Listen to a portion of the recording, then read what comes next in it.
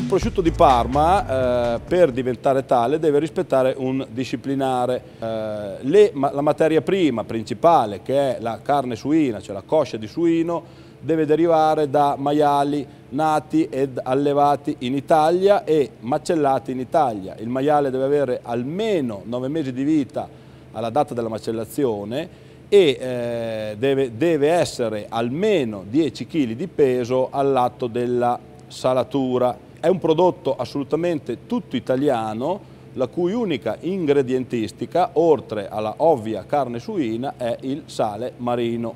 Arrivare a 20-24 mesi di stagionatura con un prosciutto vuol dire partire da materie prime assolutamente selezionate e ottenere un prodotto eh, di eh, grandissimo livello qualitativo. Le nostre aziende, nel rispetto della più antica tradizione, hanno cercato di interpretare le più moderne tecniche di lavorazione abbinandole alle migliori tecnologie disponibili sul mercato e che di fatto rendono anche possibile dei eh, notevoli risparmi energetici utilizzando eh, le eh, unità di trattamento d'aria e eh, il cosiddetto sistema entalpico, cioè che è eh, quel sistema che mi permette con delle stazioni meteo al di fuori dello stabilimento di non utilizzare energia ma di utilizzare semplicemente le eh, condizioni esterne di aria.